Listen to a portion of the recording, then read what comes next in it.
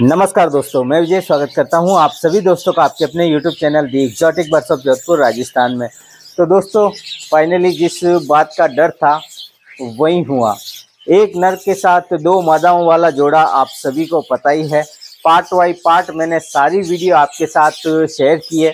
और last part जो मैंने आपके साथ शेयर किया था, उसमें मैंने आपको जो है वो बच्चे दिखाए थे और दोनों फीमेल है और नर जो है वो बच्चों को अच्छे से पाल भी रहा था। लेकिन लेकिन लेकिन लेकिन जो मैंने हर वीडियो में बोला है, जब भी एक नर के साथ दो मादाओं के जोड़े की बात हुई है, मैंने हमेशा यही बोला है कि इसमें जो है वो कभी भी प्रॉब्लम हो सकती है और इस तरह का जोड़ा लगाना सही नहीं है। हालाँकि मैंने जो है वो सेपरेट लगाकर ये एक्सपीरियंस लिया और सब कुछ सही चल रहा था, लेकिन उसके बावजूद अगर आप मेरी जो इससे पहले की जो पार्ट है थर्ड पार्ट उसमें आप देखेंगे तो उसमें भी मैंने मना ही किया है कि ऐसा आप बिल्कुल भी ना करें।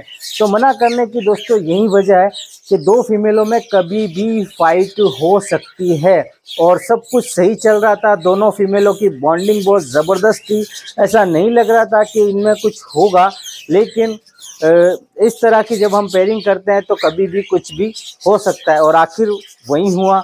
कल मैं जब शाम के समय सेटअप में आया तो मैंने देखा कि दोनों मादाओं की ज़बरदस्त जो है वो वो फाइट हो रही थी। जो मैंने वीडियो में जो है वो कैप्चर कर लिए आपको मैं स्क्रीन पर भी दिखाऊँगा। और फाइट जो है वो नॉर्मली फाइट नहीं, बहुत तगड़ी वाली फाइट जिसमें दोनों ने अपने आप को लहू लोहान भी किया है।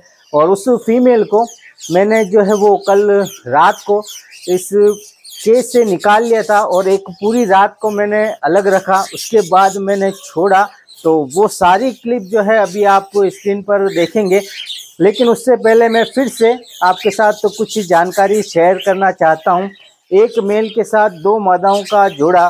जो भी भाई लगाना चाहते हैं या जो भी ऐसा सोच रहे हैं तो देखिए, मैंने कई बार जो है, मैं समय समय पर जो है, वीडियो बनाता रहता हूँ। हर साल जो है, मैं इस टॉपिक पर एक वीडियो ज़रूर बनाता हूँ। और इस बार जो है, मैंने एक पूरी सीरीज़ बनाई है। ये जोड़ा जो है, वो कॉलोनी में ब्रीड कर रहा था। दोनों मादाओं ने एक मटकी में ही अंडे दिए थे, लेकिन किसी नर के साथ पेयरिंग नहीं थी।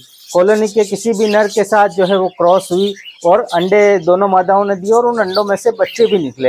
लेकिन मैंने एक एक्सपेरिमेंट किया।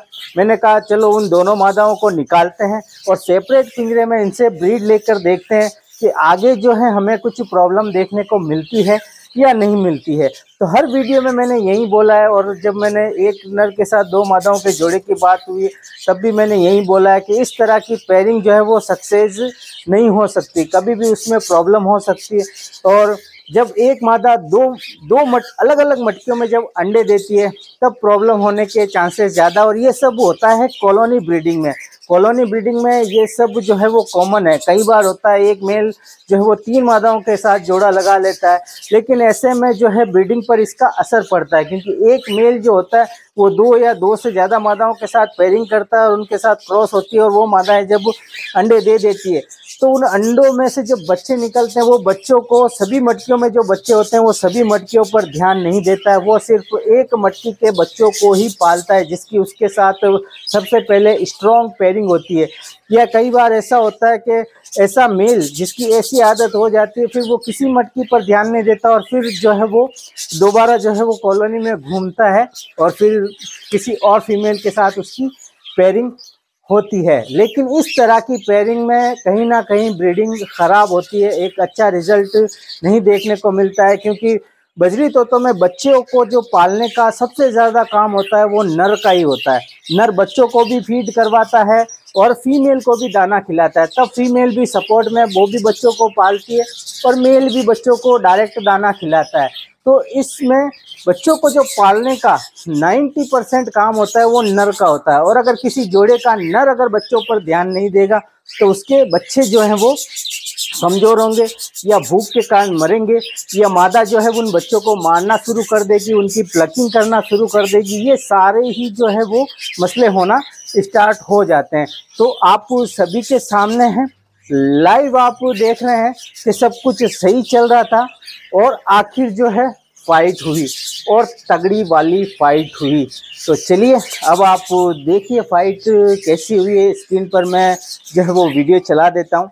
आप देखिए, इस फीमेल को मैंने जो है वो अलग भी किया एक रात और सेकंड मॉर्निंग में आज मैंने फीमेल को जो है वो छोड़ा है पिंजरे में।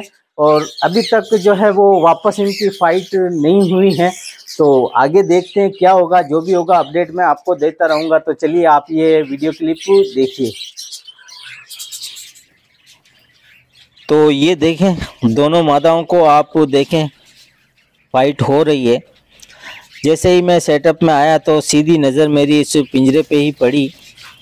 ये देखें, कितनी ज़बरदस्त तरीके से फ़ाइट हो रही है इनकी। तो ये फ़ाइट नॉर्मल नहीं है।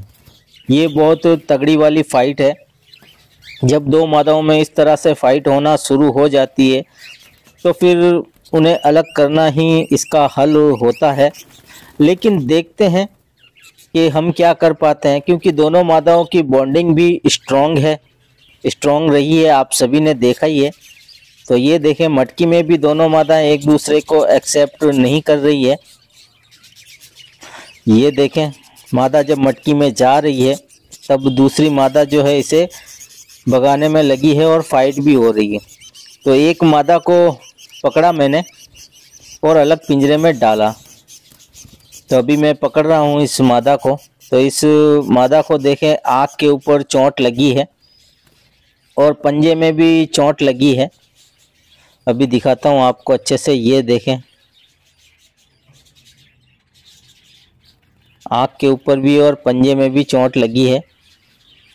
तो इस मादा को जो है हम अलग पिंजरे में अभी डाल देंगे और पूरी रात इस पिंजरे में ही रहेगी ये मादा।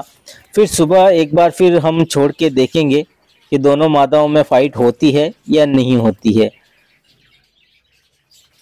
तो अभी ये सुबह का टाइम है। सुबह मैंने सॉफ्ट फ़ूड दिया है और सॉफ्ट फ़ूड देने के साथ ही इसको हम पिंजरे में छोड़ेंगे ताकि माइंड जो है वो दोनों का डाइवर्ट हो जाए। ये फीमेल पूरी रात जो है वो इस पिंजरे में रही है। तो भूखी भी होगी, प्यासी भी होगी तो इसका फोकस थोड़ा खाने पे जाएगा फाइट की तरफ़ ना जाकर। ये हमारी सोच है। बाकी देखते हैं क्या होता है। फाइट होती है या नहीं होती है। तो मैंने इसको पिंजरे में छोड़ा। ये देखें। और फिर सॉफ्ट फ़ूड जो हमारा सॉफ्ट फ़ूड है आज का, ये देखें। फ़िलहाल तो दूसरी मादा मटकी में है, ये देखें।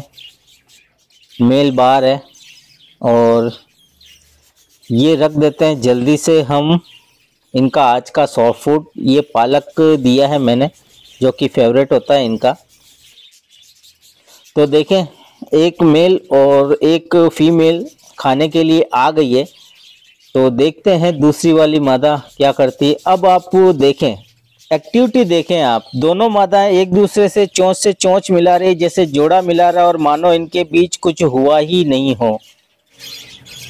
ये देखें। अब दोनों मादाएँ जो है वो पालक खा रही है। और ये देखें, फिर से थोड़ी नोकझोंक हुई। और फिर से एक्टिविटी देखें आप। फिर से चौंच से चौंच मिला रही, मानो बॉन्डिंग इनकी बहुत स्ट्रॉन्ग हो और इनके बीच कुछ हुआ ही नहीं है। ये देखें। ये देखें। फिर से नॉर्मल है सब कुछ। तो अभी तक तो ठीक है। मेरी नज़र पूरी इन पर रहेगी। देखते हैं क्या होता है। तो दोस्तों, आप सभी ने वीडियो में देखा किस तरीके से कितनी ज़बरदस्त और तगड़ी वाली फाइट दोनों मादाओं में हुई है। मटकी में भी जब मादा जा रही है दोनों, तब भी एक मादा जो है वो दूसरी मादा को जो है वो मटकी में आने नहीं दे रही है और मटकी में भी ज़बरदस्त फाइट हो रही है। शुक्र इस बात का है कि बच्चों को इन्होंने अभी तक जो है वो नुकसान नहीं पहुँचाया है। आगे देखते हैं क्या होता है। जो भी होगा आप सभी के सामने होगा। तो उम्मीद करता हूँ आज का ये वीडियो आपको पसंद आया होगा। वीडियो अगर आपको अच्छा लगे तो वीडियो को लाइक ज़रूर कीजिएगा, कमेंट्स कीजिएगा और चैनल को भी सब्सक्राइब ज़रूर कर लीजिएगा। तो इजाज़त दीजिए। मिलते हैं बहुत जल्द एक और नए वीडियो, नए टॉपिक के साथ।